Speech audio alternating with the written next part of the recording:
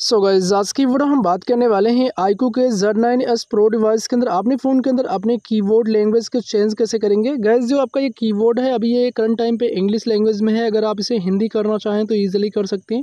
Well उसके लिए settings icon पर क्लिक करना है। हमारे साथ पास इस तरह से इंटरफेस आएगा।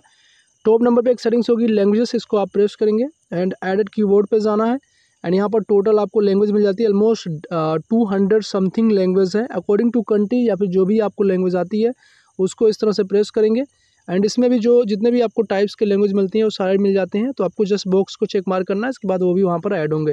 हालाँकि मुझे हिंदी चाहिए डन कर दूँगा तो ये लैंग्वेज सेट हो जाएगी। एंड अपने कीबोर्ड पे इसे यूज़ कैसे करना है, यहाँ पर आएँगे। एक लैंग्वेज का आइकन होगा, ये देख सकते हो यहाँ पर है। इसको एक बार प्रेस करना, दोबारा प्रेस कर देंगे।